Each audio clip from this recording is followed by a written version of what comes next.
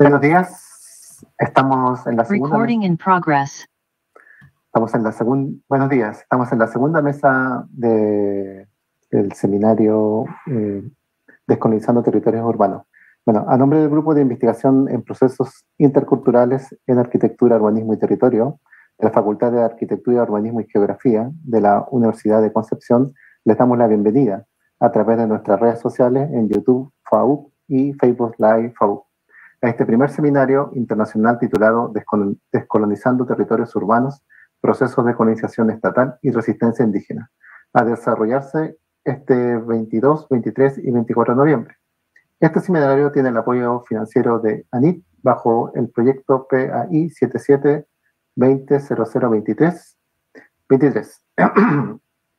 La convocatoria de este seminario fue un llamado amplio hecho a investigadores, investigadoras, formados bajo las lenguas coloniales distintas, tanto en inglés como en español, a conversar sobre diversos procesos de despojos que enfrentan hoy los pueblos originarios del mundo, bajo lógicas y mecanismos de producción urbana, con, se sigue colonizando los territorios al interior del Estado-Nación.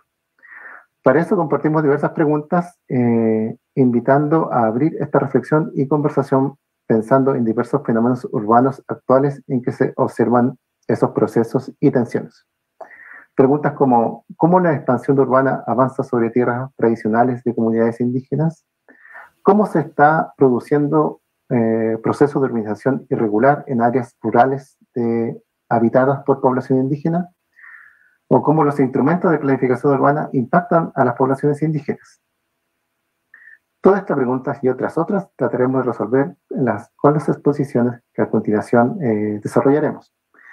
De acuerdo a estas diversas preguntas, eh, recibimos diversas ponencias provenientes de distintos lugares del mundo, observando procesos únicos e irrepetibles en épocas distintas. Abordamos desde diversas disciplinas y a través de distintas voces, pero que en conjunto nos, mostraron el amplio y profundo abanico de consideraciones históricas y cotidianas, así como las diversas formas en que se expresan esos, eh, esos vigentes procesos de colonización urbana en diversos lugares del mundo y sobre diversos pueblos indígenas, así como también un amplio, amplio, amplio abanico de formas, eh, formas de reorganización y resistencia que siguen desarrollando buscando dar continuidad a sus propias proyecciones como pueblos.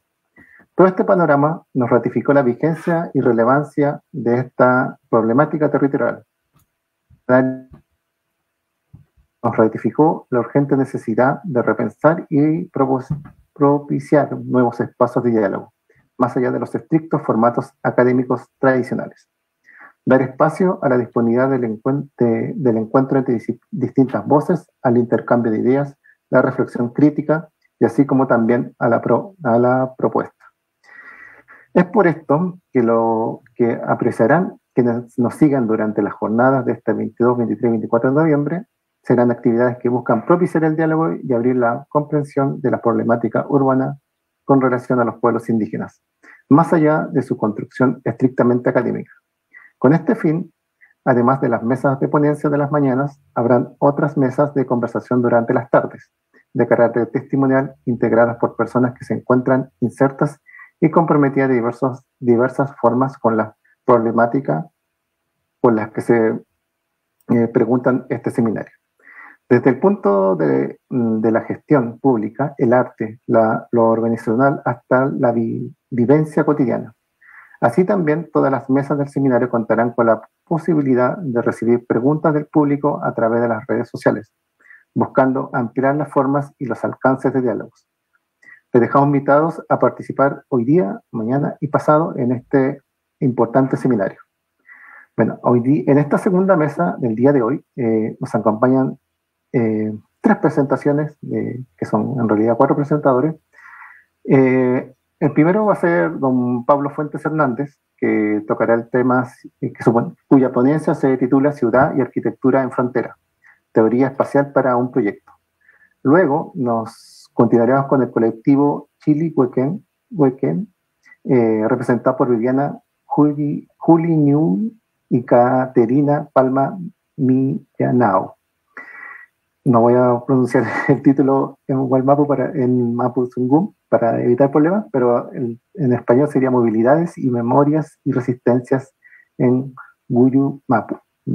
Luego, eh, la tercera presentación será de Eres Fatia, eh, cuya presentación eh, se titula Grey Governance in Indigenous Local Government in Bedouin Town in Israel. Bueno, la dinámica de la mesa está compuesta por tres momentos. En el primer momento vamos a tener las presentaciones, eh, las cuales tomará un tiempo de 45 minutos. Cada, presenta, cada presentador tendrá 15 minutos para responder su ponencia, su tema, que podrá ser acompañado por un PowerPoint. Luego de ello tendremos un tiempo de diálogo, que serán 45 minutos, donde se pueden articular conversaciones entre los, entre los presentadores, el moderador y también podemos recibir públicas eh, preguntas. Podemos recibir preguntas desde las personas que están viendo este seminario a través de nuestras redes sociales eh, y las haremos a, los expositores. Finalmente, eh, yo terminaré con un pequeño, una pequeña síntesis de no más de cinco minutos para dar finalizado en esta mesa y, y, daremos pausa para la actividad de, de la tarde. Bueno, para comenzar, tenemos a Pablo Fuentes Hernández, eh, quien comenzará realizando la primera presentación. Pablo, te doy el micrófono, el espacio para que hagas tu presentación. Muchas gracias, Dante. Bueno, lo primero que quiero es agradecer a la organización del seminario eh, por eh, admitir nuestra, nuestra ponencia. Eh, lo segundo es agradecerle a los compañeros de mesa por dejarme exponer primero. Estoy sin luz en este momento y estoy funcionando solo con la batería del teléfono, de manera que no sé cuánto me puede durar, así que les agradezco haberme dado primero el espacio para, para tratar de alcanzar a exponer. Eh, aguantaré hasta que dure la batería. Y lo segundo, em, dar, dar, dar alguna, un, sentimiento como de advertencia en el sentido de que nuestra presentación eh, se basa eh, precisamente en un ámbito de la, de la arquitectura, em, de manera que hablamos de desde un espacio no estudiado por ahora eh, hasta ahora en, Chile. Y por lo tanto, nuestra mirada más que de colonizadora intenta un poco entender este proceso de, colonización y, y, evidentemente las fisuras que abre esa decolonización posterior, que son estas nuevas lecturas. Bien, nuestro proyecto está, es parte de un proyecto Fondesit que se llama Ciudad y Arquitectura de la Frontera, la consolidación del Estado-Nación en Araucanía, 1883-1974, y la ponencia de hoy se titula Ciudad y Arquitectura de la Frontera, Teoría Espacial para un Proyecto. Eh, nuestro equipo de trabajo está compuesto por cinco investigadores, donde destaca Gonzalo Cerda de la UEB, eh, Tirsa Barría de la Universidad Austral de Chile, Jaime Flores de la Universidad de la Frontera y Leonel Pérez de la Universidad de Concepción, eh, algunos de ellos que han estado en la, primera parte de, la, de este evento. Eh, también contamos con la participación en este evento de dos otros co-investigadores, como Yabel Arevalo, que próximamente eh, eh, también a su ponencia, y de Camila Sanzana, quienes también han sido colaboradores en nuestro proyecto. la primera cuestión que debo comentar es que el estudio de la arquitectura y la modernidad en Chile eh, pareciera ser eh, eh, un, suceso bastante desarrollado durante los últimos 10 15 años. Sin embargo, la mayoría de los textos no, se no, no, no, no, hablan de la, de la Araucanía ni de la frontera. en un hecho muy curioso, la falta de investigadores sobre esa, sobre esa área ha, admitido, ha permitido una especie de silencio editorial que, tiene, que está muy vinculada con no saber cómo es o ha sido realmente el, el, el hecho más urbano que se conoce más, pero arquitectónico que se conoce muy poco y este libro de alguna manera es parte de él. Podríamos decir que este es el primer libro de arquitectura moderna en Chile, donde solamente hace un par de menciones a la Araucanía con un par de edificios.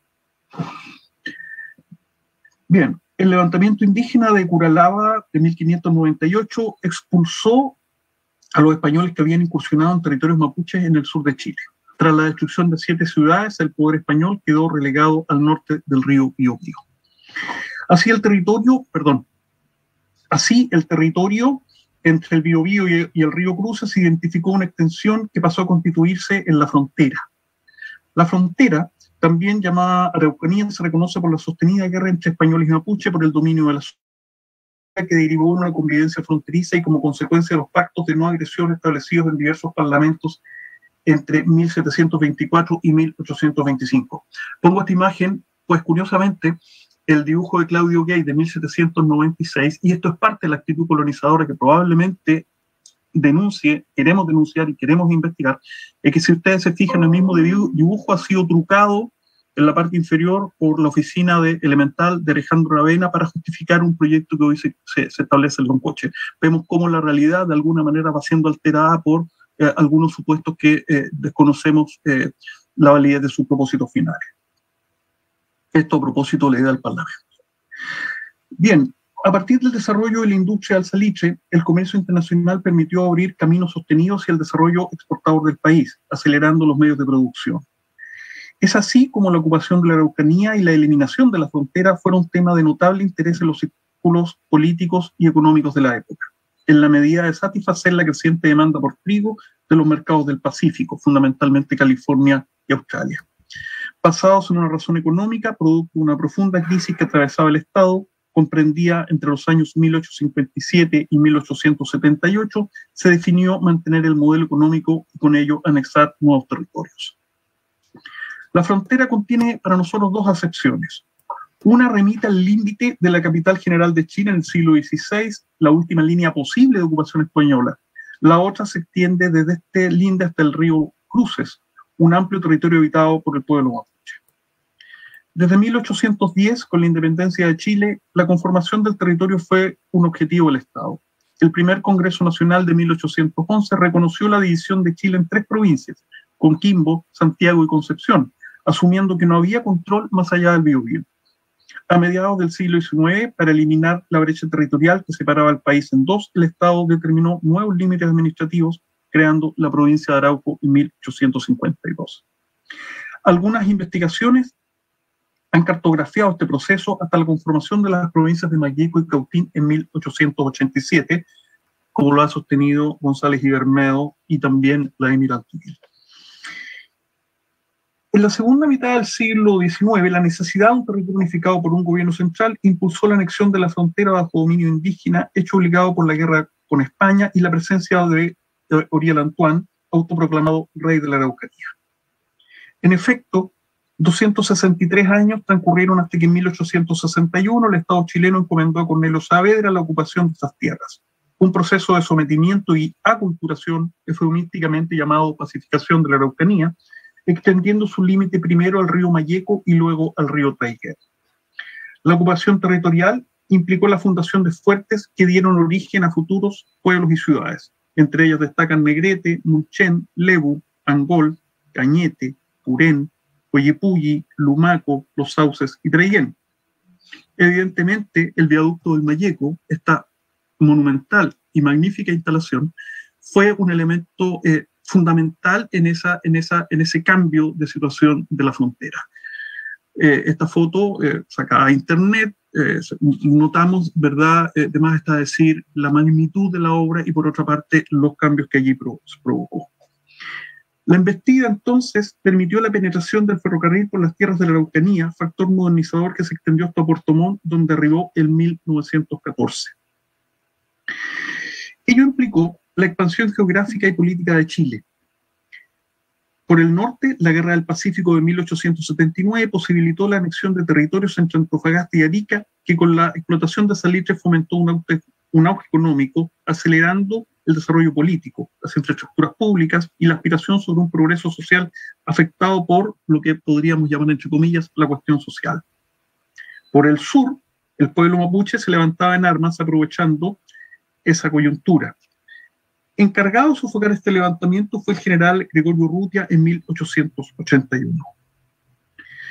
Esta embestida incorporó al dominio del Estado los territorios hasta Villarrica. Esta campaña originó la fundación de Lautaro, Temuco, Victoria, Cholchol, Ercilla, Nueva Imperial, Carahue, Galvarino, Freire y por supuesto la refundación de Villarrica. Con lo que se daba por concluida la resistencia militar mapuche. Diversas estrategias colaboraron a fijar la continuidad territorial y consolidar la ocupación de la frontera, entre ellas la fundación de nuevos asentamientos con el fin de controlar distancias, la determinación de la propiedad privada y pública a través de catastros, la materialización de la infraestructura mediante el ferrocarril y el telégrafo, los cuales mantenían una comunicación directa con la capital. La instalación del aparato burocrático que permitió fijar leyes y normas de civilidad. En la frontera, Esta continuidad espacial posibilitó la propagación de ideales republicanos que consolidaron el Estado-Nación, condicionado por una lengua, una economía, mecanismos de explotación de recursos naturales y la idea de que el poder político era hegemónico respecto a las alternativas de desarrollo.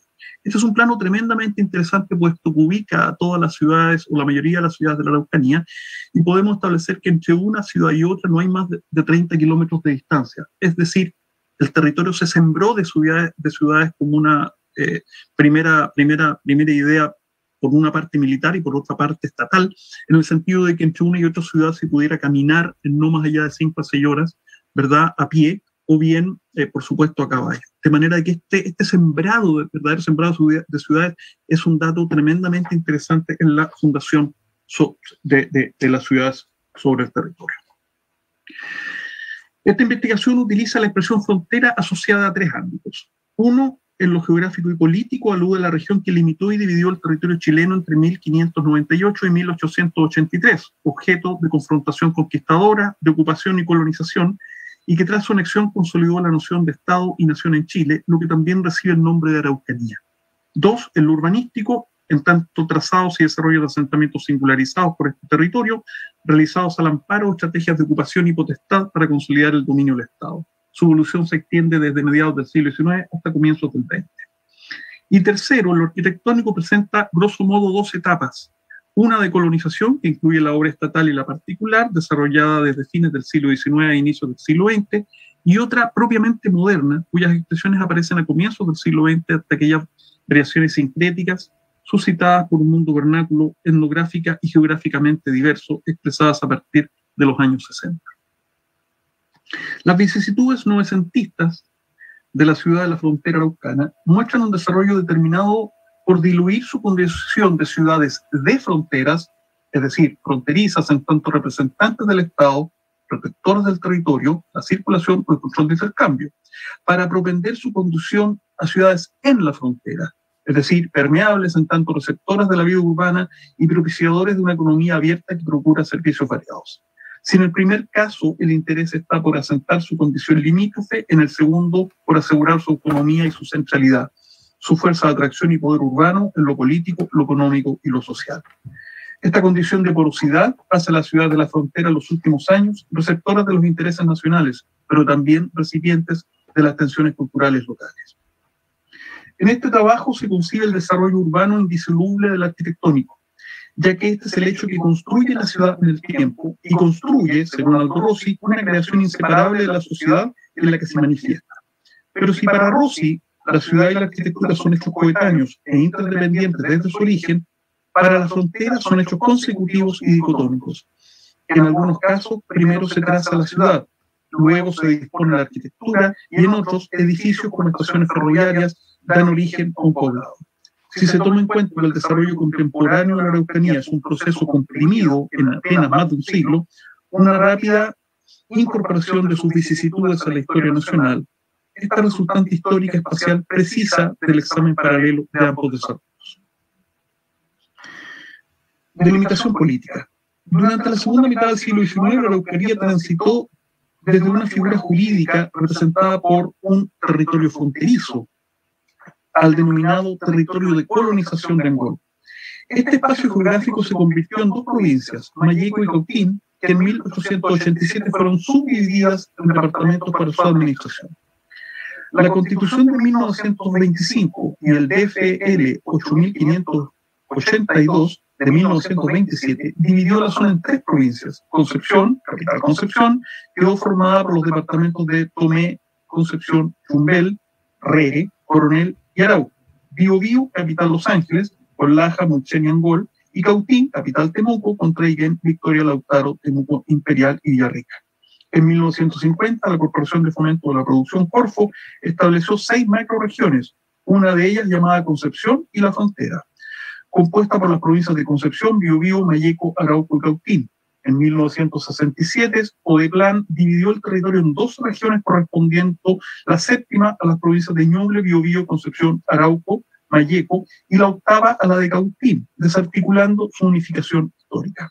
En 1974, La Junta Militar, apoyada por la Comisión Nacional de Reforma Administrativa, emitió los decretos leyes números 573 y 575, originando dos regiones y un área metropolitana. El territorio de la frontera fue reorganizado en dos, la octava con las provincias de Ñuble, Concepción, Biobío y Arauco, y la novena con Cautín y Malleco. Ni los objetivos ni los requisitos para ser región consideraron que la frontera tuviera unidad física y cultural. El decreto ley 2339 de 1978 considera esta zona como la novena región de Araucanía. Conformación de centros poblados. Las operaciones militares comenzadas en la década de 1860 permitieron que el ejército ingresara al territorio mapuche, el cual fue mensurado por agrimensores, estos levantaron fortificaciones, trazaron ciudades y poblados, cartografiaron nuevos límites de las provincias y departamentos y delimitaron hijuelas en lotes que fueron repartidos a colonos. Las nuevas ciudades se construyen como un ente administrativo regulador del tráfico comercial y como punto de enlace de complejas tramas de relaciones sociales. Su organización implicó nuevos programas y recintos específicos, cementerios, hospitales y áreas de uso productivo. Su emplazamiento buscaba garantía de acceso, disponibilidad de suelo y ventajas específicas. Agua, calidad de suelo, economías de aglomeración. Mayoritariamente tuvieron un damero conformado por manzanas de unos 90 por 90 metros, variando en cantidad de acuerdo a la importancia de la ciudad y en forma, conforme a la localización de las estaciones de trenes y sus bodegas. La arquitectura como vehículo de consolidación de la ciudad de la frontera. Con la ocupación de la frontera devino la continuidad física del territorio y la aspiración inconclusa por una historia común. Es una zona estudiada desde múltiples disciplinas, históricas, políticas, sociológicas, económicas, etc., pero no desde una óptica arquitectónica integral. Conformemente, el sentido de la planificación de sus asentamientos y de la obra construida, ambas entendidas como una unidad espacial e histórica, permanece en un silencio investigativo. La representación de esta modernidad arquitectónica se aleja de la ortodoxia académica, ya que el discurso parece determinado por otras circunstancias. La historiografía chilena ha sido fructífera al examinar la coherencia entre momentos históricos y tendencias arquitectónicas. Fernández Cox escogió el término modernidad apropiada para establecer las categorías de identificación entre arquitectura y contexto según su condición de adaptada, propia y pertinente. Enrique Braune, en este libro que ahora vemos, señala otra arquitectura en la medida que esa otredad refleja una alternativa a la dogmática moderna para incluir expresiones críticas.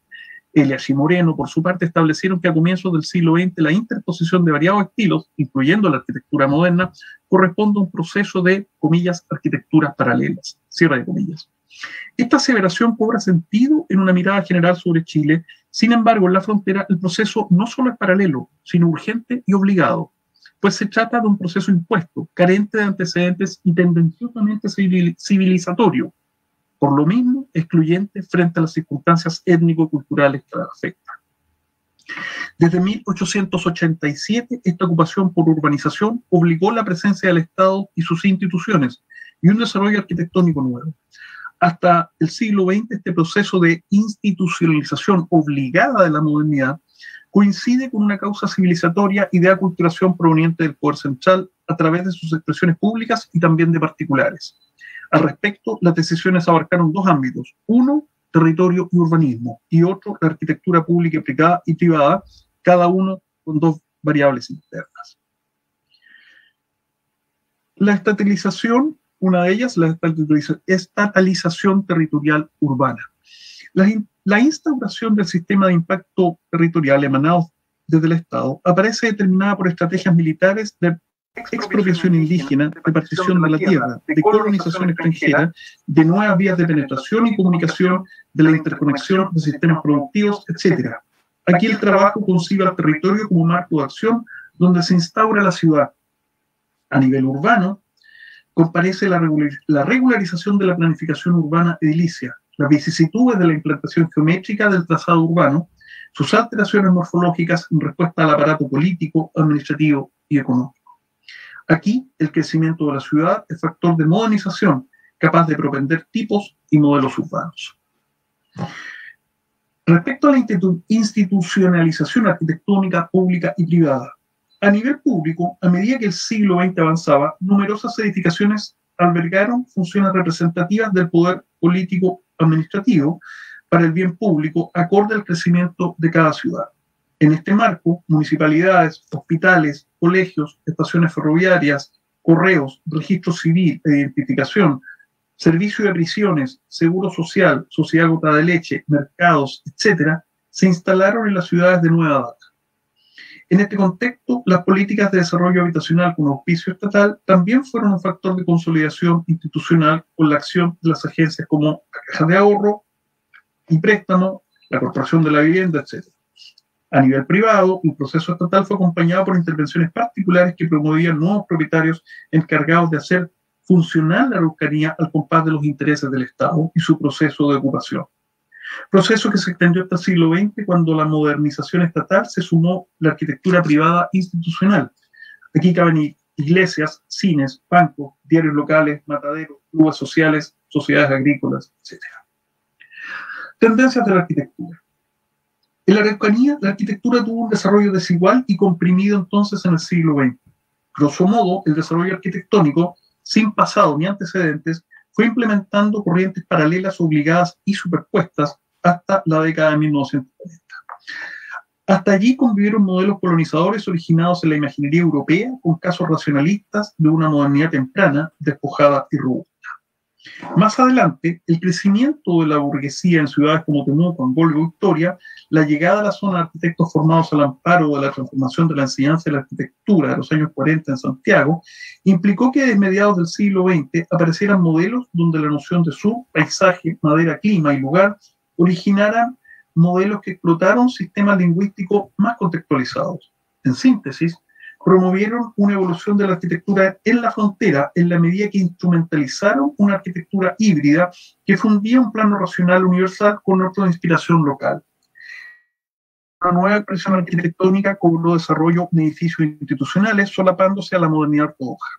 El escaso diálogo de la forma racional con el entorno físico y cultural, la valoración de una arquitectura colonizadora que incluía techumbre a la vista, la madera al interior, al exterior, la disolución del volumen unitario y básico, la transformación de los vanos, etc., alimentó nuevos lenguajes.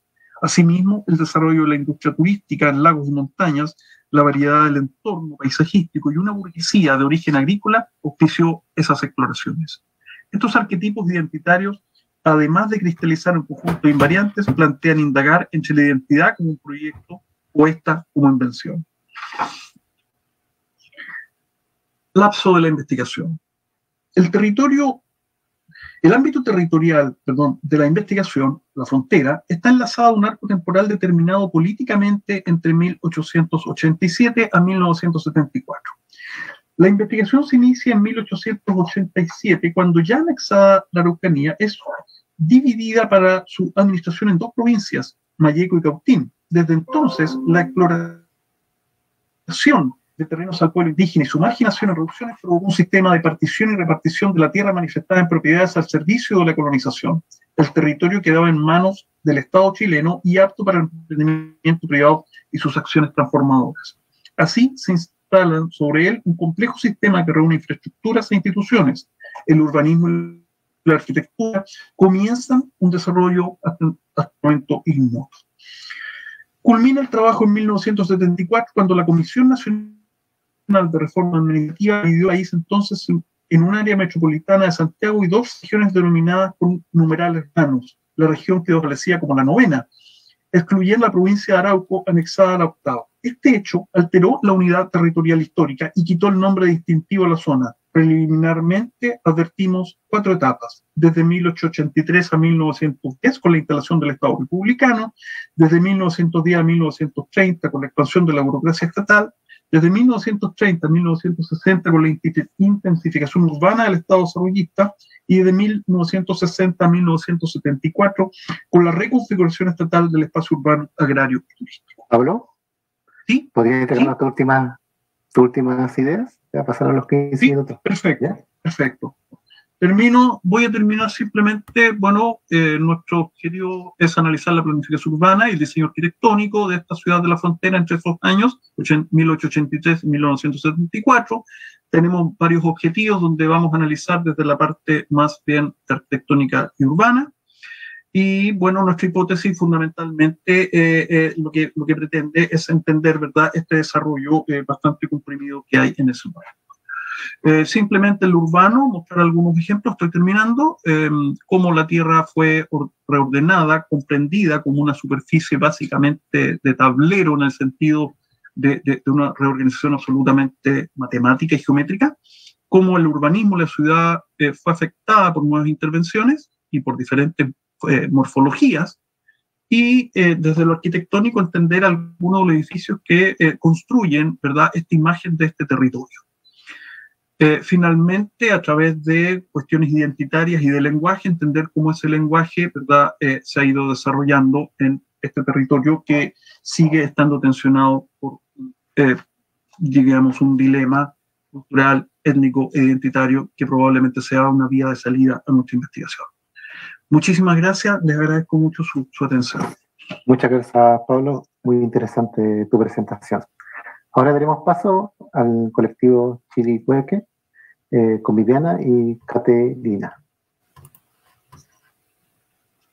Yo voy a, hacer voy a compartir la presentación.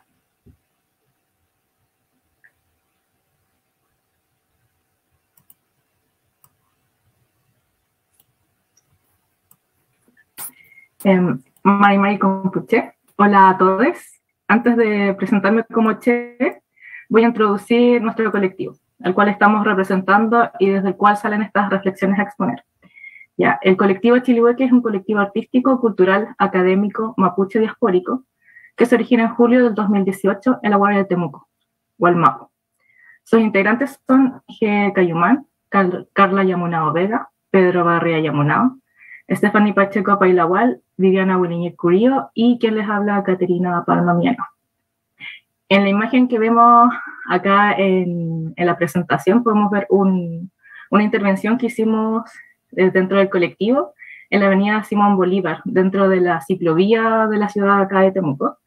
Em, esta es una intervención que se hizo entre octubre y noviembre del 2019.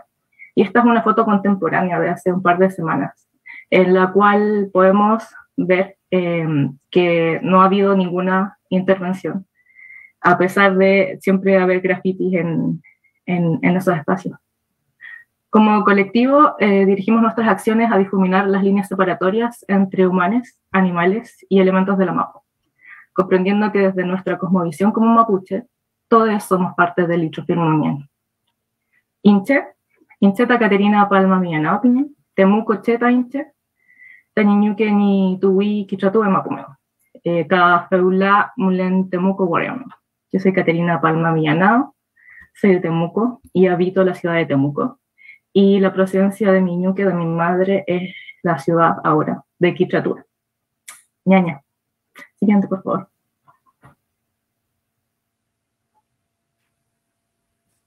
Eh, ley. Eh, eh, Mari Mari Compuche, Mari Mari Compulamien, Inche Taviana Huelñe Curiopinien, eh, Mayola Fkema Pumeu, tu un en Boulder Warrior, Estados Unidos Requema Pumeu, eh, Chilcatuque en Universidad de Colorado Boulder Meu. Eh, buenos días a todas, a todos, a todos. Mi nombre es Viviana Wilmir Curio, eh, soy de formación geógrafa, eh, me formé en la Universidad de Concepción, estudié geografía años atrás allá. Y actualmente estoy eh, desarrollando un, eh, un, doctorado en geografía acá en Estados Unidos, que es el lugar donde estoy también hablando y me posiciono para abrir este diálogo en el cual estamos pensando, no tan solo yo, sino como colectividad que somos con eh, Chilihueque Troquín. Eh, esta presentación es una reflexión respecto a cómo la movilidad eh, como categoría analítica nos permite expandir eh, comprensiones relacionales sobre la territorialidad mapuche, rural, urbana. siguiente, por favor. La, la, movilidad supone más que un desplazamiento, movimiento entre dos o más puntos concretos del espacio, ofreciendo un rico campo para explorar las configuraciones espaciales de las relaciones entretejidas por la movilidad, incluyendo dimensiones sociales, afectivas, temporales y, por supuesto, materiales en diferentes escalas espacio-temporales.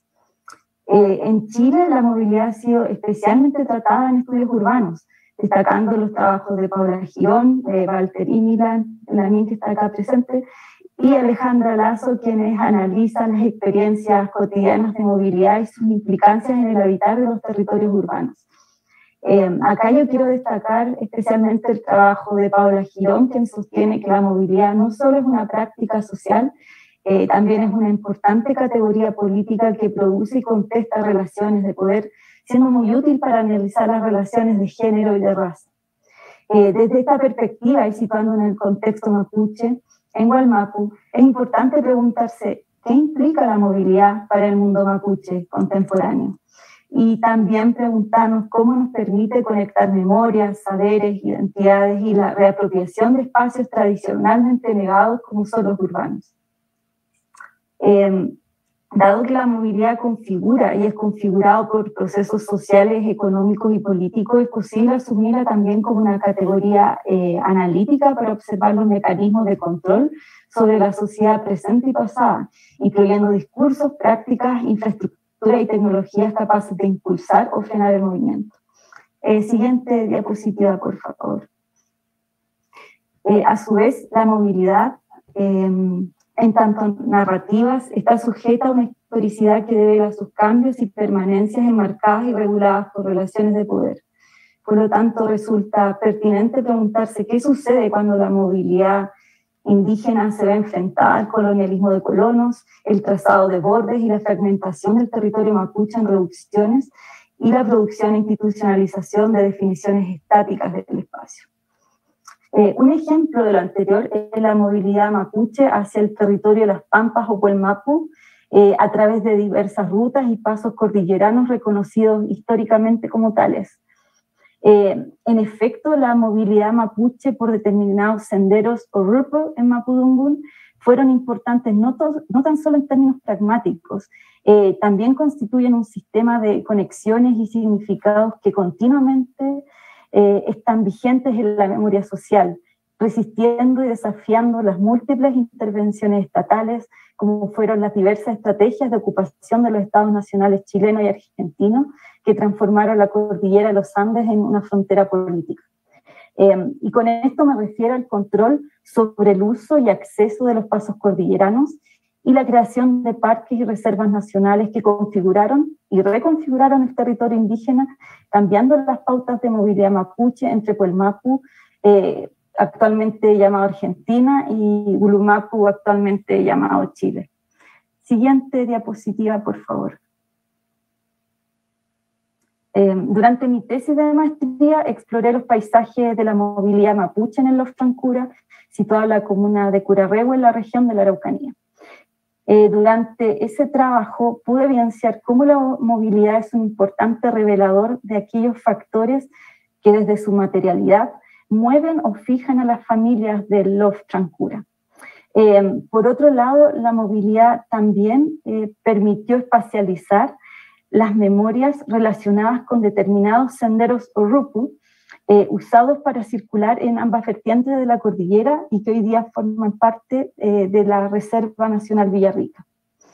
Eh, de esta manera, las prácticas móviles de los Trancura, Trancura perdón, se han acotado temporal y espacialmente distorsionadas por las intervenciones estatales y las presiones económicas sobre los recursos naturales existentes en este territorio. Eh, sin embargo, las narrativas de la movilidad continúan presentes en la memoria social de las familias de los Trancura, articulando recuerdos, emociones, prácticas y conocimientos eh, en un continuo proceso vivo que renuevan estrategias de resistencias y respuestas políticas ante los acelerados procesos de extractivismo y despojo en Gualmapo. Eh, siguiente diapositiva, por favor. Por ejemplo, en esta imagen eh, que, es del, que es del Parque Nacional Villarrica, eh, en lo que se conoce como el río Momoyuco, en Mapuzungún, que es un topónimo eh, muy importante para comprender parte de las geografías del Lof Trancura y del cual formó parte de estas rutas que se realizaban para ir a Puerto Mapu hacia los viajes y que hoy en día forman parte del Parque Nacional. Sin embargo, eh, en este sitio, eh, que es más allá que, una simple ruta, también sirvió de descanso y también eh, hay muchos elementos importantes para las familias de los Francura y también para muchos mapuches que continuamente ocupaban estos espacios que ahora son parte de parques nacionales y al cual no pueden tener acceso.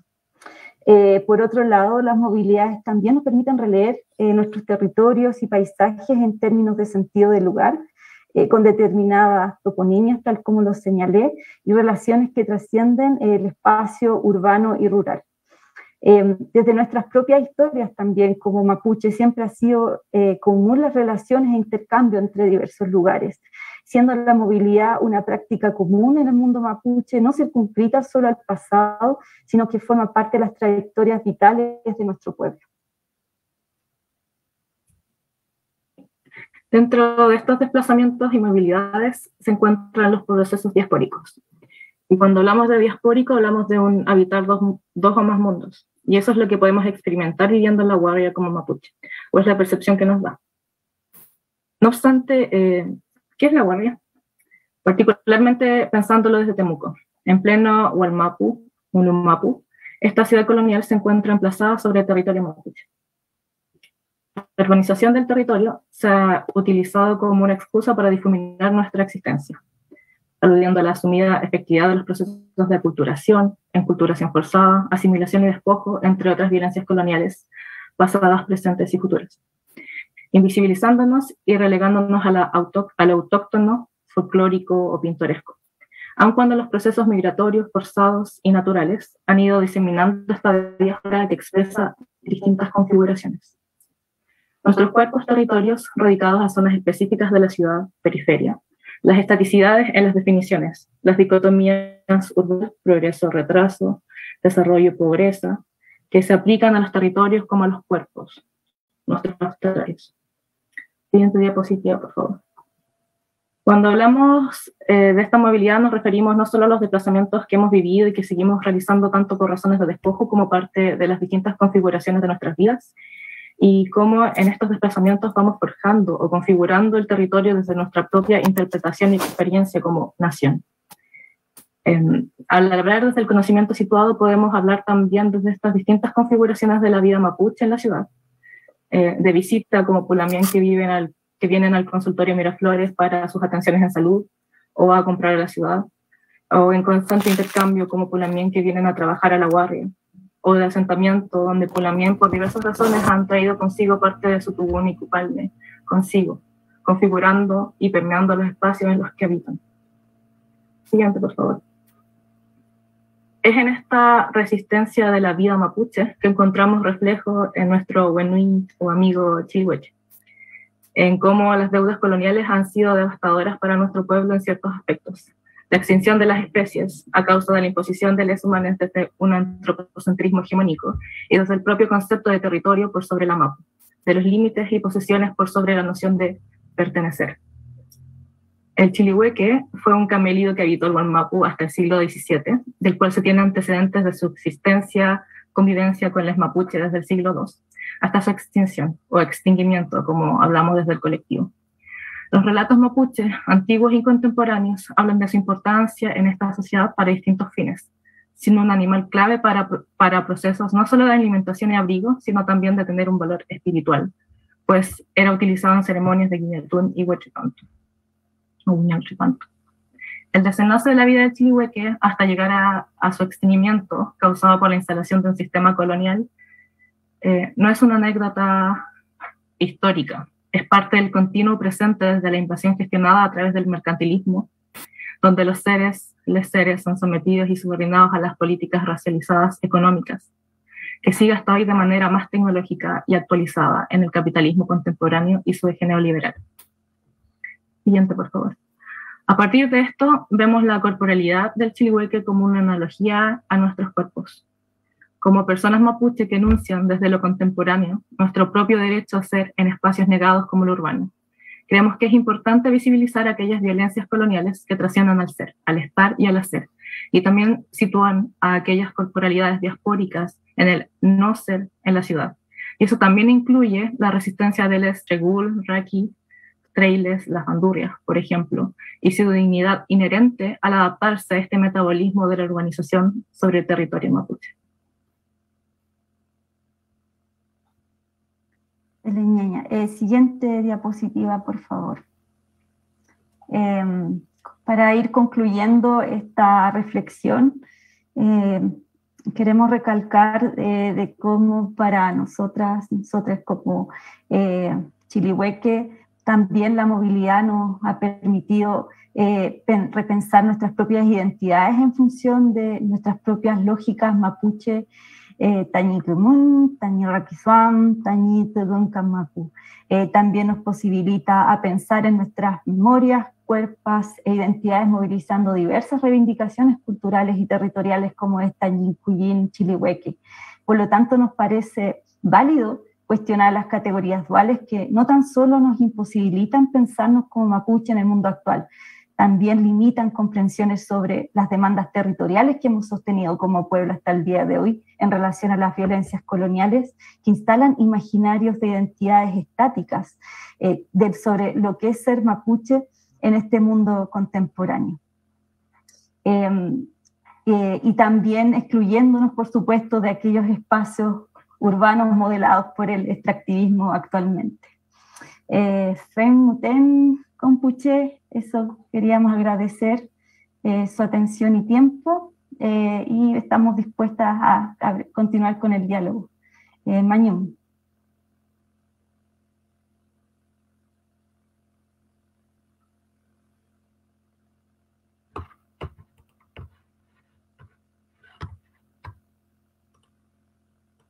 Justo en el tiempo. Ahora continuamos con la presentación de eh, Eres, con su presentación Grey Governance, Indigenous Local Governance in a Debun Town in Israel. Eres, puedes comenzar.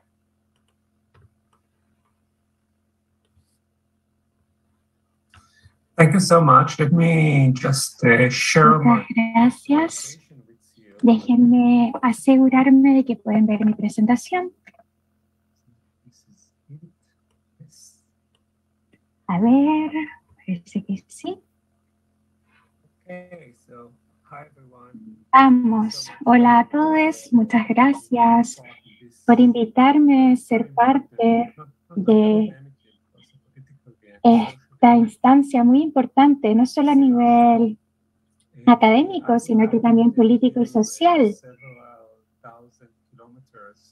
Me gustaría llevarles a miles de kilómetros a Medio Oriente,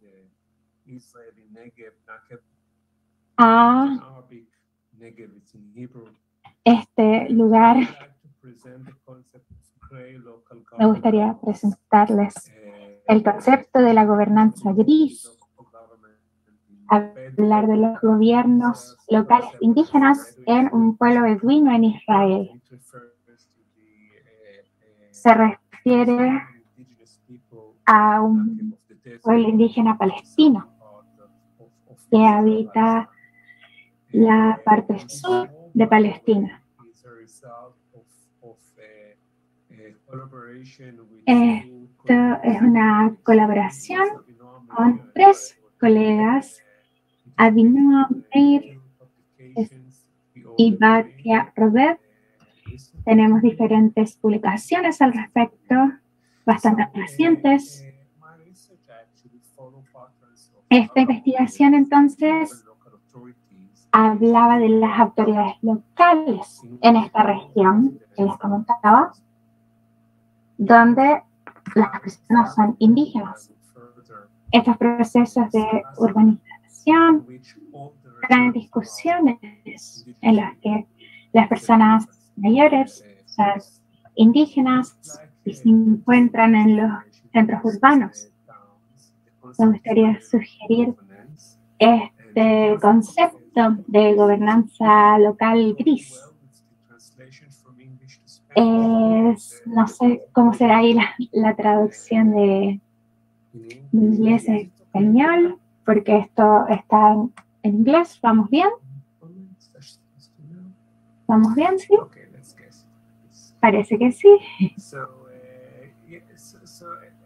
Can see, Como pueden ver acá, la presentación toma este concepto de la gobernanza local gris, que se refiere a un estilo en que las autoridades locales están entre medio de lo formal y lo formal. Entonces están estas instituciones formales, tradicionales, y sus residentes no solo se rigen por las leyes, sino que también por las estructuras tradicionales.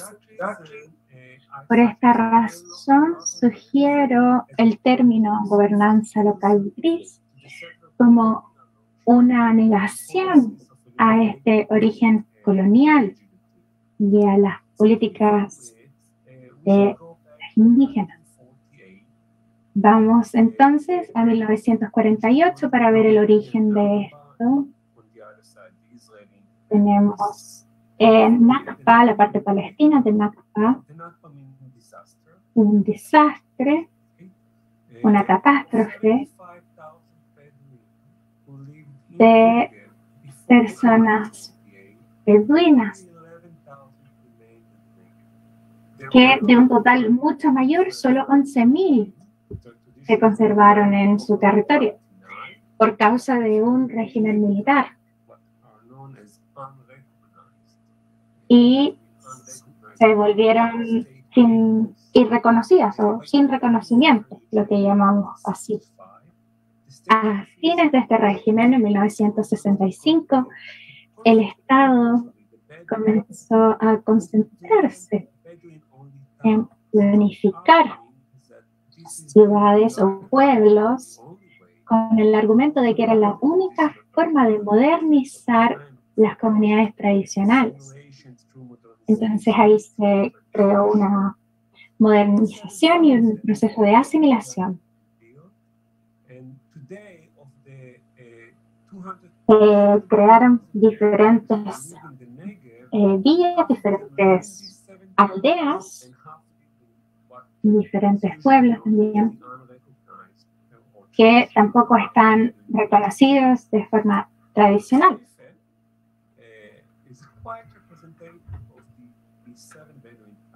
Tenemos Seifi, que es un representante de, estas, de estos pueblos beduinos y este territorio beduino.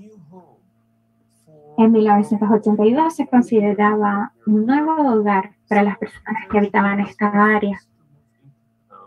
Algunas de estas personas fueron forzadas a desplazarse les mostraré por qué. Porque se creó una base aérea militar en esta área. Se construyó una base aérea militar.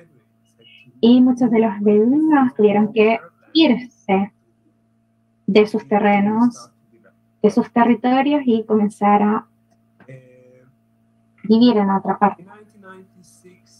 En 1996 se convirtió en una autoridad local, pero el Ministerio de Interior de Israel eh, argumentó que ninguna persona beduina pertenece a estos grupos del Islam. Siguieron las peticiones para que los beduinos locales en el año 2000 tuvieron una elección, eligieron un alcalde beduino. La geografía de este lugar nos muestra algo muy distintivo y les comentaré por qué. Lo primero es que pueden ver ahí mi, mi, mi cursor. Mi cursor, ¿lo pueden ver? ¿Sí? Sí. Perfecto. Muchas gracias. Estamos aquí. Hace un momento les estaba hablando de este lugar más al norte y el lugar Sekfe está aquí. Estos son los límites de la jurisdicción de la ciudad. Contiene eh, varios kilómetros cuadrados, de los cuales 11,2 kilómetros cuadrados fueron reclamados como tierras con tenencia tradicional y solo el 2,1 kilómetros cuadrados que están aquí en gris oscuro se conocen como, como tierra estatal. Por cierto, estas áreas de gris oscuro son los únicos lugares que el plan original estaba considerado. Aquí tenemos cinco barrios. El Estado de Israel negó las demandas de los beduinos que pedían eh, ser quienes poseían estas tierras. Y fuera de los límites de esta ciudad se desplazaron. Y Además de estos lugares, pueden ver aquí, aquí, todos estos puntos que son de hecho lugares sin reconocimiento, son barrios sin conocimiento y muy informales.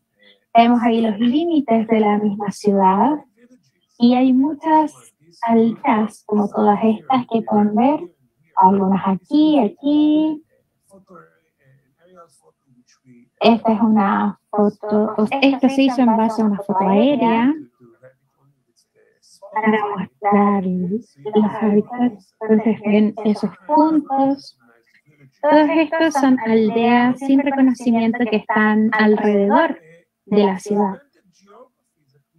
Entonces, la geografía que vemos aquí dividió la residencia en tres, a los residentes en tres grupos. El primero son los residentes que están dentro del pueblo, que son residentes formales, están en esta área donde les muestro. Y dentro de este grupo había tres subgrupos. Los que poseen la tierra, que viven en sus tierras, personas que viven en esas tierras, pero quien posee las tierras está en otro lugar. Y también algunas personas que nunca antes habían tenido tierras, que ahora sí tenían.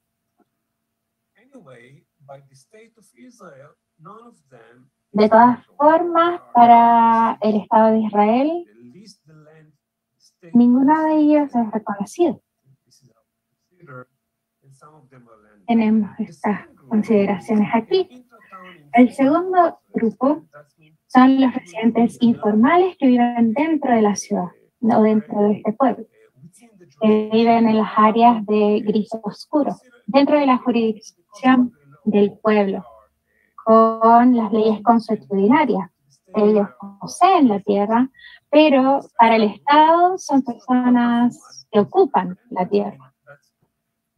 El tercer grupo son personas que viven fuera de estos límites, fuera de la jurisdicción. Eh, ellos también poseen la tierra según el derecho consuetudinario, pero según el Estado están ocupando el territorio, ellos no lo reconocen. Como pueden ver aquí, tenemos muchas personas que viven fuera de la parte formal de la ciudad, pero que se consideran residentes de este lugar.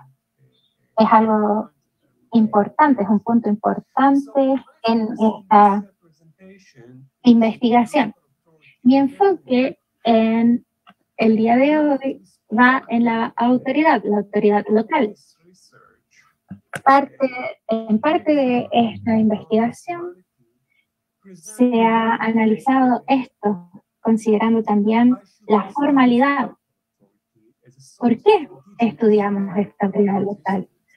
Por una forma de poder y resistencia indígena. Las autoridades locales Uy, tengo dificultades para escuchar al ponente. Sí. Las autoridades locales tienen estos elementos tradicionales que son causas de prestigio. Y el alcalde es una alternativa a las leyes constitucionarias. Esta es la importancia de las autoridades locales. Esta persona, por cierto, vive en uno de los lugares informales fuera de la jurisdicción del territorio. Como les mencionaba anteriormente, mi enfoque tiene relación con el concepto de la gobernanza local gris y me gustaría enfatizar algunas conclusiones sobre esta gobernanza local gris. Lo primero es que este es un marco apropiado para las contradicciones que existen entre el derecho consuetudinario y el derecho estatal o las leyes estatales. También es una fuente de legitimidad para estas leyes estatales y el derecho consuetudinario. Por ejemplo, hay un alcalde que es elegido, esta autoridad local que es elegida, que debería estar calificado desde el Estado para participar en estos procesos democráticos, pero también tienen que ser parte de la sección hegemónica o las familias hegemónicas dentro de la tribu, las personas que viven en la tierra. Por esta razón, todos los alcaldes elegidos viven eh, de forma informal, más allá de la jurisdicción de este lugar. Entonces, esta ley es muy clara y que con todos los alcaldes debería ser así. Sin embargo, todos los alcaldes anteriores vivían adentro de los límites en la ciudad en sí, en los, en los barrios formales. Ahí ellos no viven, sino que fuera de ellos. Luego se eligió un alcalde que, de hecho, vive en una sección formal de la ciudad. El tercer punto es que los límites, las fronteras, son flexibles, son dinámicos y son interpretables. Cambian constantemente con las leyes estatales y también en el espacio comunitario. Las autoridades locales son quienes se encargan de las personas que viven aquí. ¿Y qué pasa las personas que viven fuera, pero vienen a este espacio a educarse y a ser parte o hacer uso de diferentes servicios que se ofrecen en la ciudad? El Estado no reconoce. Solo reconoce a las personas que viven en la aldea dentro. El cuarto punto es que refleja estos, esta gobernanza local gris, refleja las geografías tradicionales en organizaciones internas, legales y también de ellas. Por, ejemplo, estas autoridades locales previenen, previenen que haya desarrollos y planificación en esta parte gris, porque esta tierra tiene reclamo por parte de los beduinos al Estado si le gustaría planificar en esta área y hacer algo con la tierra porque consideran que es de ellos, la autoridad local defiende estos intereses. Es algo importante. Hablamos de lo tradicional. Esta tierra tiene un uso diferente y la autoridad local rechaza todas estas planificaciones en el territorio, en estas tierras de beduinos. Es algo bastante interesante cómo lidian con estos elementos. El último punto es que la gobernanza local gris reflexiona las geografías tradicionales por cómo están influenciadas por lo externo. Nos referimos a las personas que viven fuera de la jurisdicción. Hay muchas personas que viven fuera de la ciudad, pero están registradas como si fueran residentes de la ciudad para poder participar en las elecciones locales. De hecho, las personas que viven fuera de la ciudad influencian quién va a ser el alcalde, este representante. Esta es parte del fuego que hay ahí. Es parte de la realidad que se da internamente. No tiene nada que ver con la geografía del Estado. Creo que esto es sobre la gobernanza local. Gris, me gustaría nuevamente agradecerles por la invitación para ser parte de estas conversaciones. Muchas gracias. Gracias, Eres. Ahora partimos con un espacio de discusión entre los expositores, si hay preguntas entre ellos o si no, y si hay preguntas también en las redes sociales. Creo que ahora no. ¿Alguien tiene alguna pregunta para los expositores?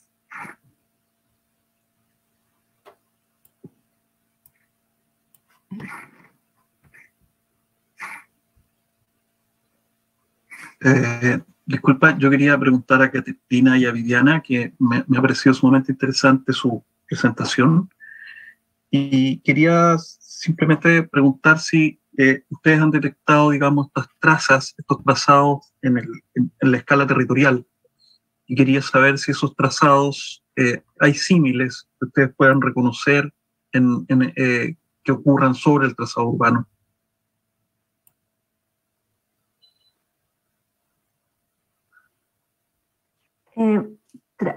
Símiles, ¿te refieres a las trazas que mencionas sobre o que se superponen sobre el trazado urbano. si es que se superponen, sí, sí, sí, es que han descubierto ejemplos de superposición con el trazado urbano. Bueno, pero, pero respecto aquí a, las rutas, por ejemplo, o u otro tipo de... lo, digo, lo digo en general, en la medida de que entiendo que eh, ustedes muestran, muestran un territorio que está afectado por otras historias, por otras prácticas, digamos. Y, lo que quería saber era si ocurrían trazas similares o ustedes que hayan descubierto trazas similares que ocurran sobre el estado urbano y si es que tienen o no vigencia, si es que son reconocibles o no. Entendiendo, entendiendo que el trazado urbano, es, me guste o no me guste, es una realidad eh, hoy día en el territorio. Para nosotras, eh, nosotros lo más, lo más eh, evidente es cómo el trazado urbano se fue superponiendo sobre territorio mapuche. especialmente en la Araucanía, Biobío, vemos cómo la ciudad se fue dibujando eh, y sobre eso hay títulos de merced reconocidos como tales. Eh, eso ocurre en Temuco, ocurre en casi la mayoría de las ciudades del, del sur de Chile, lo cual es un tema no menor porque eh, como colectivo también conversamos mucho respecto a cómo dentro de estas formas en que se entiende la identidad diaspórica, eh, siempre se habla como desde eh, la migración hacia espacios de los cuales se va construyendo nuevos lugares, se lugarizan en el fondo.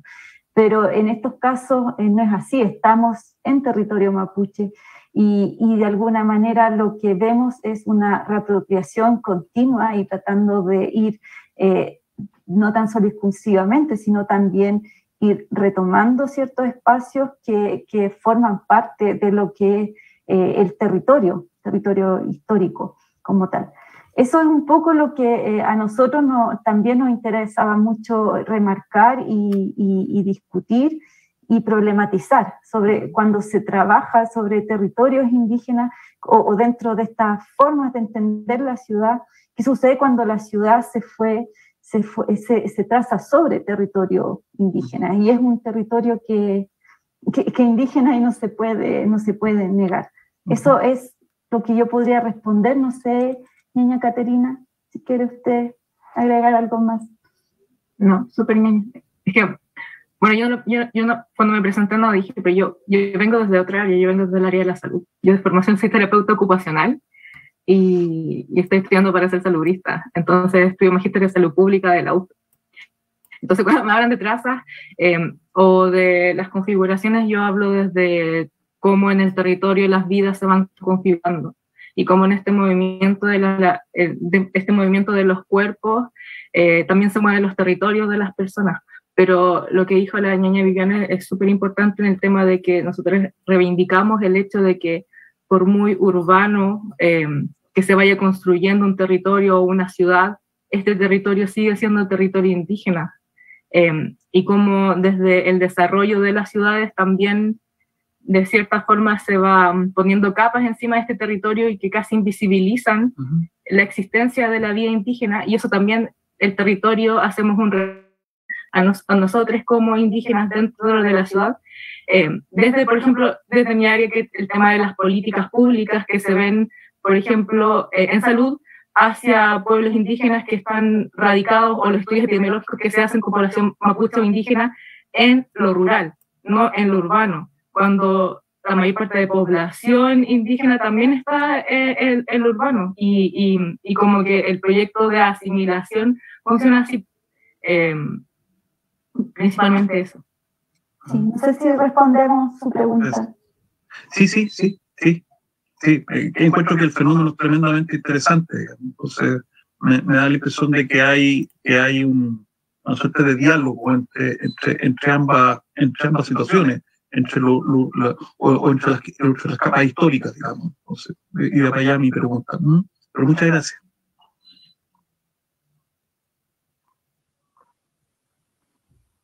Eh, ¿Hay alguna otra pregunta?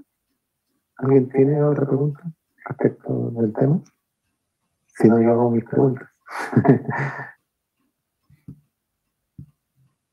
bueno, a partir por Pablo. Eh, es interesante lo, que tú cuentas sobre esta, sobre tu proyecto, cómo, cómo se ha ido para las personas nosotros del norte es super, muy desconocido el sur. Eh, realmente no entendemos la chilenización del sur, entendemos la chilenización del norte como, un vocablo muy, muy reutilizado en, esta, en la historia de, Chile en general.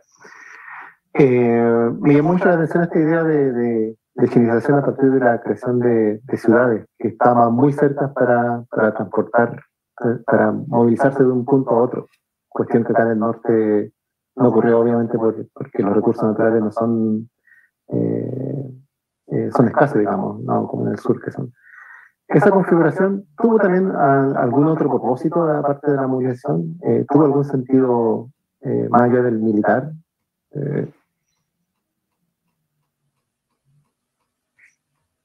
¿Tienes micrófono? me sale un lecherito que me queda muy poca batería, así ah, que voy a hacer rápido. No, pero intentaré ser rápido. Eh, mira, yo me temo de que, tal como explicaba Jaime Flores delante, estos son procesos, no, no, no, no, hay razón, no hay única razón, sino que son procesos de múltiples argumentos y múltiples razones, y es evidente de que el capitalismo, ¿verdad?, del siglo XIX eh, afectaba esto. Eso, eso es evidente pero el modo estratégico de hacerlo a mí me parece que es una lógica militar pero una lógica en el sentido de que establece un punto del otro a 30 kilómetros y una cuestión que tú la puedes hacer hoy día. Si haces ese recorrido ahora la Eucanía, yendo de pueblo en pueblo, en 30 kilómetros te vas, a, te vas, a, dar cuenta de que en auto más o menos tardas no más allá de media hora, 20 minutos, media hora. Y a mí me pareció una estrategia eh, de sembrado de ciudades que es muy novedosa, no es mía la idea, Odini, que es el que sostiene este plano, Em, y, me parece una, una, que es una estrategia e, e, efectivamente de dominio y de control por el espacio.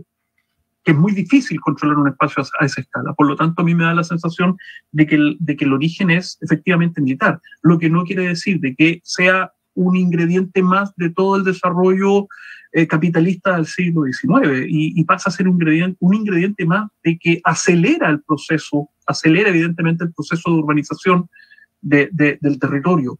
Eh, y por cierto, no estoy defendiendo aquí el proceso de urbanización, sino lo, estoy, eh, lo, intento mirar simplemente como un hecho. Y es, y es efectivo de que un territorio que está, por así decirlo, sin intervención occidental prácticamente hasta 1860, con las pocas, por los pocos ejemplos que hubo, ¿verdad?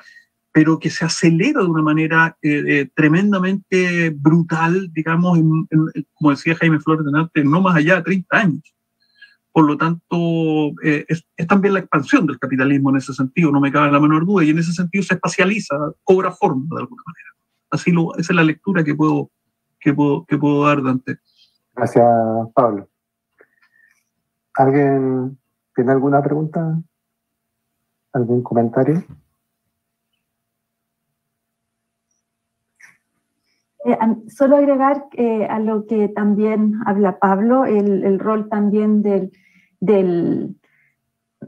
turismo en algunos otros espacios que también fue reconfigurando precisamente y, e instalando estos otros imaginarios respecto eh, a lo que eran estos territorios. También me hacía mucho sentido cuando miraba esa imagen de Pucón, en cómo también eh, en este afán también de colonizar también se, se usó mucho las formas turísticas de tratar de realzar otros usos de, estos espacios y, eh, y, también realzando otro tipo de imaginarios eh, europeizantes dentro de, de, lo que era lo que es Gualmapu.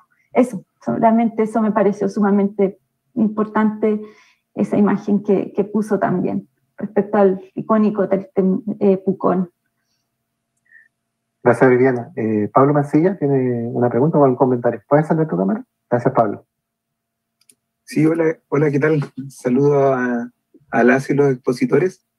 Eh, eh, Súper interesante todas las presentaciones. Había colocado una pregunta aquí en el, en el chat, o sea, un comentario y una pregunta. el comentario es que con alguna de sus presentaciones recordé un concepto clave que hay en el trabajo del profesor Rogerio Hasberg también, que es el concepto de transterritorialidades, con el cual se refiere al estar entre o al ser eh, y al vivir, ¿cierto?, en esta experiencia de múltiples territorialidades y que también da cuenta de, de esa expresión de la movilidad.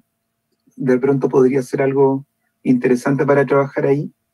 Y la pregunta específica para Viviana y Caterina si además de las prácticas de movilidad a través de los GOPU que eh, han sido descritos por los trabajos de Viviana, conocen otras experiencias de disputas de fronteras de estados nacionales que ya han sido desplegadas por el pueblo mapuche o por agrupaciones mapuche que den cuenta, digamos, de la existencia de una transterritorialidad tal vez más del tiempo presente. Eso. Saludos. Peley, saludos Pablo, gusto verte. Eh, mira, respecto a la pregunta, el tipo de contestaciones contemporáneas, actualmente hay varias disputas respecto a con los parques nacionales. Eh, de hecho, hay varias, eh, hay varias, hay varios pull-off en en la zona de, de Villarrica, Mayalafquén, Puñaripe, eh, que están reivindicando también eh, el poder tener, eh, formar parte más activa de, lo que son los parques y también ellos están reivindicando justamente la ocupación ancestral de, territorios como fueron las veranadas mapuche. Entonces, eso, y eso también ha llevado a otro tipo de, de, encuentros que, que, que, implica mirar más allá de, de, lo que es el Bulumapu, también pensar Bulumapu en, o queremos decir Chile, pensar también qué pasa con las relaciones que ocurren con el, el Mapu. Y cómo también eh, como mapuche nos hemos ido em, nos hemos ido construyendo con esas relaciones, con esas relaciones también que, que han existido históricamente con, con Argentina. Eh, eh, entonces, eso te puedo comentar respecto al, tipo de disputas que existen hoy en día, principalmente con la concesión y, y todo el, problema que hay respecto a la existencia de, de, de sitios eh, ocupados tradicionalmente por comunidades que forman parte de los parques nacionales y que ellos están reivindicando y que están, ellos también se han ido repropiando estos espacios.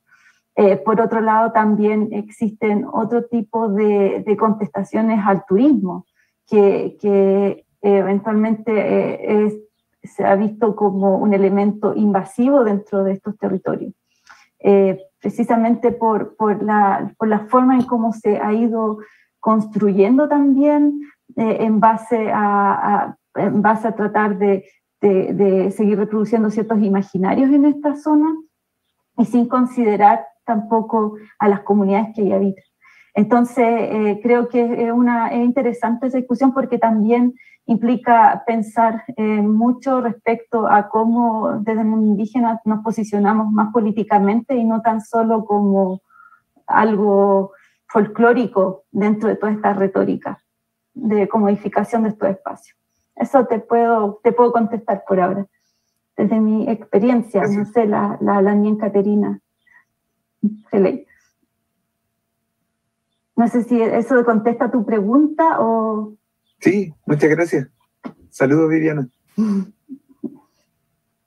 Gracias, Pablo. Gracias, Viviana. Eh, tenemos una pregunta en el, en el chat para Eres. Eh, la voy a decir en inglés. Representation, thank you. I have a question for Eres. How do you see the... ¿Cómo ves la similar las similitudes o diferencias entre los casos de Chile que se expusieron hoy y tu experiencia en Palestina, Israel? O una pregunta más, más simple. ¿Qué es lo que te llamó la atención de las presentaciones como un extranjero? Eh, muchas gracias. Esta es una buena pregunta, porque todo el tiempo estamos intentando hablar de los modelos, y lo que es bueno para todos los casos. En el caso de Palestina, eh, un poco diferente, porque primero que nada, Israel ocupa parte del territorio palestino, esto se sabe. En el caso que yo presenté, está en las fronteras de Israel oficialmente, de lo que es reconocido como Israel, pero aún hay palestinos que viven en esta región y se compone del 40% de la población en el área. Incluso hoy este territorio, ya que 40% son beduinos, todavía está en lo que llamamos judaísmo, porque no eh, se considera antidemocrático hablar del desarrollo de esta forma. Entonces, esta máscara de, de, desarrollo es traer más judíos a esta área y tener más espacio para judíos y minimizar el espacio y geografía de los beduinos locales. Sin embargo, enfrentamos actividades de resistencia y las cosas han empezado a cambiar, empiezan a cambiar porque más pueblos no reconocidos están siendo reconocidos. Y en este establecimiento de institucionalidades y Estado, se ve que no se puede seguir así. Algo se necesita hacer. Así que hay, por la complejidad de las políticas, no sé si hay una comparación entre lo que pasa aquí y lo que pasa en Chile. Entonces no sé si deberíamos llegar y relacionarlo, pero sí hay en estas discusiones sobre resistencia y políticas que puede ser similar en ambos lados. Es una buena pregunta, pero deberíamos prestar atención a las condiciones locales, las políticas locales, porque son problemáticas importantes que deberíamos recordar cuando empezamos a comparar casos. ¿Esa fue una respuesta buena para la pregunta? Gracias. ¿Está? ¿Muy bien? Yo tengo una pregunta para Eretz Safadia. Thank you for your presentation, Eric. And I have a question about settler colonialism in Tengo Palestine. pregunta sobre los asentamientos en Palestina y quisiera saber si ves similitudes entre el caso de Palestina y los problemas de los pueblos indígenas en Sudamérica y cómo este colonialismo reproduce o este modelo se reproduce en estas áreas grises, en ambos casos. No sé si se entendió. Sí, sí, Es una buena pregunta. sí la entendí. De nuevo, este concepto de colonialismo se hizo muy popular y es muy famoso y es un buen marco, uh, de cierta forma. arguments between Hay Debates eh, en cuanto a los investigadores sobre cuál es el significado específico de este término. Tenemos que entender qué es lo que está relacionado con la política y, y cuál es la definición. Así que los detalles pueden ser relevantes para un lugar, pero no para el otro. Y así, por ejemplo, aquí tenemos diferentes símbolos de representación de esto. Yo, por mí en particular, pertenezco a la población judía, así que soy parte de la hegemonía. Eso debería ser claro. Yo no soy palestino.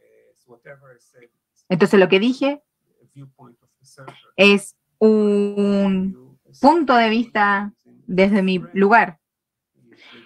Este colonialismo es un marco bueno para empezar a tener debates con lo que tiene que ver con descolonización, territorios, leyes, planificación, pero no deberíamos intentar debatir cuáles components los componentes correctos para poder definir esto, porque son diferentes en los diferentes estudios sobre este tema. Algunos de ustedes ya habrán leído algunos materiales relacionados a esto, pero aún así Israel es un buen ejemplo de este colonialismo porque. Se está llevando a cabo ahora. Es muy vívido, desafortunadamente. Y puede que hayan algunos buenos comprendimientos de los significados, pero se debe ser muy cuidadoso en cuanto a intentar definirlo. Eso es lo que yo digo, deberíamos ser cuidadosos con los intentos de intentar entender otro tipo de colonialismo y otro tipo de ocupaciones. En uno de nuestros papers, creo que mañana se va a presentar en un video que se mostrará mañana, se nombra este tipo de concepto en Gaza. Entonces, si intentas comparar este neoliberalismo con el capitalismo y este colonización, podemos ver cómo estos empezaron a emerger y tuvieron una relación simbiótica entre estos. Creo que esto, gobernanza gris, hace referencia a las autoridades lo- locales de los pueblos indígenas y ve cómo lidian con esto. También lidiando con el capitalismo y el neoliberalismo. Y esto tiene que ver con el contexto de la propiedad de las tierras, el valor de las tierras y el desarrollo y este tipo de cosas que tiene que ver con la lógica capitalista o neoliberal. Creo que la gobernanza gris no es solo, no va solo entre dos conjuntos de geografías, sino que también tiene que ver con esta relación de colonialismo y neoliberalismo, y es algo que podemos pensar porque puede ser un buen marco para otros lugares donde esto se llevó a cabo o se está llevando a cabo. Muchas gracias. ¿Hay alguna otra pregunta o intervención o comentario que les gustaría hacer? Tanto los presentadores, presentadores como otras personas que se encuentran en esta sala.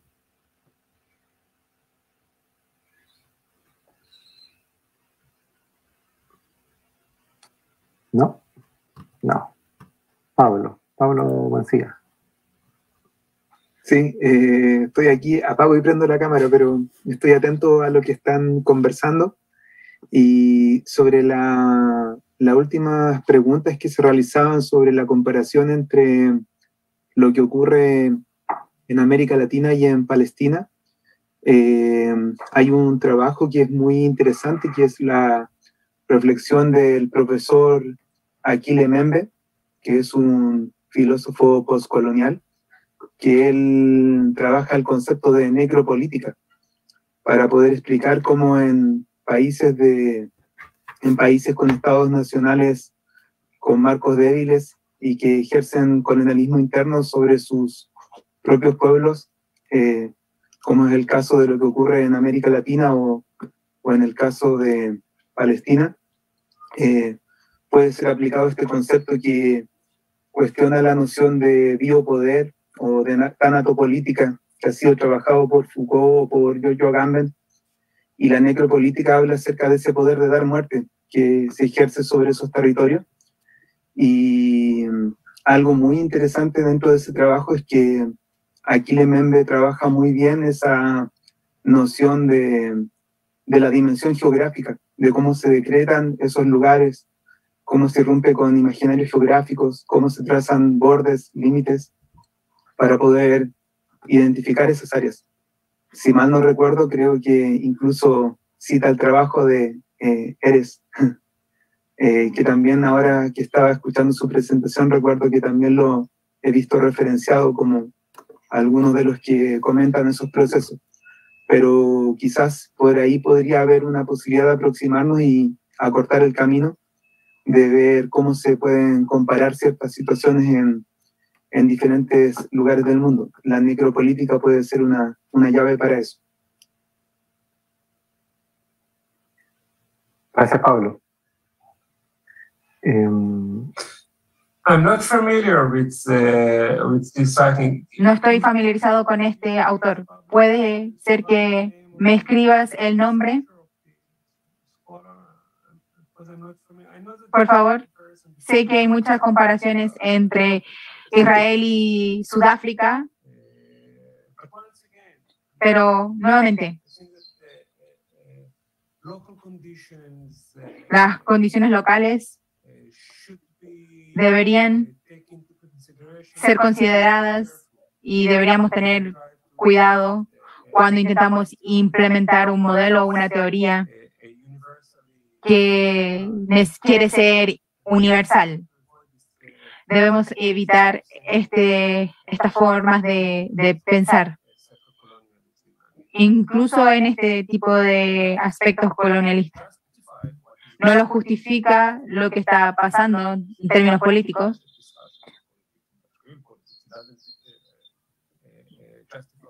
o de políticas, no se, esto no se justifica en Israel y lo que pasa en Israel y Palestina, pero nos ayuda a entender este proceso que estamos enfrentando ahora.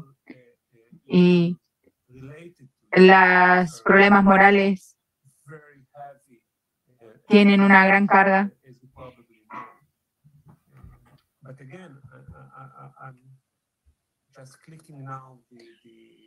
Ahora estoy abriendo el, the links that uh, you, you sent. El link que enviaste. Gracias. Lo voy a leer. Y no estaba familiarizado con esto, pero muchas gracias. También una- una- un comentario sobre lo que señala Pablo, pensando también en el trabajo de Eretz, eh, eh, en, en cómo muchas veces eh, cuando se habla también de comunidades mapuche, eh, también existe una suerte de reducción respecto a cómo se está entendiendo finalmente las organizaciones mapuche porque hay que recordar que en el caso de Chile, eh, el, la- el Estado a través de CONADI también se eh, institucionalizó dichas organizaciones y también fue creando otras formas de comprender las comunidades mapuche versus otras lógicas tradicionales, las cuales tampoco eran homogéneas, pensando en cómo cada pull-off Pull-off me refiero a las organizaciones tradicionales eh, mapuche, que, muchas veces están en disputas o, deben ir, eh, eh, tienen que ir tratando de, de- vivir, conviviendo, co- coexistiendo con estas otras organizaciones eh, impuestas por los estados, pero que también son muy funcionales ah, muchas veces para para familias mapuche. Entonces, esto también se, se puede expandir a otro tipo de organizaciones dentro de la ciudad y también esto ha creado muchas veces, eh, es un reflejo no tan solo de la diversidad del pueblo mapuche, sino también que va complejizando un poco la discusión sobre qué estamos hablando cuando, eh, cuando nos referimos a comunidades mapuche. Entonces creo que eso igual va respondiendo a las lógicas, estrategias de cada territorio y eso también eh, yo ahí eh, estoy muy de acuerdo con Eres de que hay que, ahí hay que poner mayor atención en esas propias lógicas internas que muchas veces obedecen a otra historia, a otras relaciones también que se fueron construyendo con otros pull-off. eh, y también a, un montón de historias de familias eh, y que están muy presentes en la memoria de cada, de cada love. Eso, eso, para ir como problematizando también eh, a qué nos referimos con comunidades indígenas eh, en el contexto de Chile. Gracias, Viviana. Eh, comparto contigo eh, esa problematización. Creo que cuando empezamos a observar, hay una articulación claramente de parte de los estados de mantener un proceso colonial en la cual se, se proponen fronteras, espacios, eh, se producen clasificaciones. Eh, Eres dio un ejemplo muy claro y que también es histórico, histórico, urbanístico y arquitectónico. Y eso es una, complicación enorme para las comunidades que no tenían esas distinciones, que tenían, distinción, esas, tenían esas prácticas, pero no con las distinciones que propone el Estado. Eh, la construcción de la comunidad indígena hoy en Chile no solo es interceptada por muchas variables. Las familias no solamente tienen una sola identidad indígena, sino que también comparten incluso una identidad religiosa, emergencia muy, muy clara. Y respecto a esta estrategia, que podríamos denominar estrategias de supervivencia, porque para que hoy día las comunidades o pueblo indígena o la población indígena permanezca, tuvo que emplear diferentes estrategias, tanto asociativas como disociativas, con el Estado y sin el Estado. Y eso ha llevado a, un- a unos procesos muy complejos. ¿verdad? A veces se producen procesos de planificación urbanística donde hay tanto organizaciones que están a favor como organizaciones que están en contra, y eso refleja las las distinciones, o sea, refleja los objetivos de, los, de la población respecto a su propio territorio y cómo estos espacios que el Estado crea se transforman a veces para algunas comunidades o organizaciones como oportunidades para su desarrollo. Este desarrollo que nosotros ya eh, proponemos que es un desarrollo que se distingue o se aleja mucho de lo, lo tradicional. Y es en ese espacio que parece ser el Estado siempre eh, eh, desarrollando sus propias estrategias de colonización. No obstante, el mismo Estado tiene políticas para indígenas eh, urbanos, tiene políticas, una política indígena que, se puede ir clasificando para, diferentes espacios, subsidio y todas estas cosas. Y esta es la invitación para la tarde. La tarde vamos a tener una mesa con, con personas, personas que trabajan en los servicios públicos, que están vinculadas de cierta forma con el, con el tema de, de urbanístico, arquitectónico, eh, y particularmente ah, eh, vinculado con, con, las poblaciones indígenas, sean como comunidades o organizaciones. Y eh, seguiremos eh, tratando de, buscar espacios de, para que esta complejidad se vuelva menos compleja, valga la redundancia, pero en el sentido de poder sacar algunos, algunas conclusiones respecto a este Estado colonizador, a, estos pueblos, a la resistencia de los pueblos indígenas e igualmente no dejamos detrás eh, el hecho de que hay población que, indígena que está muy, a, veces muy a favor de, lo que hace el Estado. Y eso hace que haya conflictos eh, dentro de los pueblos indígenas, dentro de las mismas comunidades territoriales y dentro de incluso territorios tradicionales.